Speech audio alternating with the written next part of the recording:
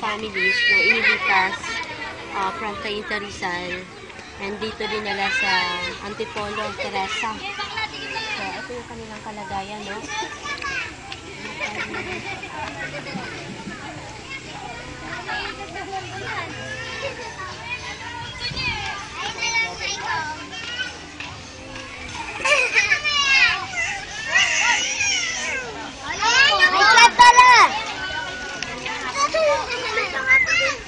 Umuulan talagang ganito yung Ilang taon na po kayo rito? Ay, buhay, Mac! Ka naman ang gulo ito!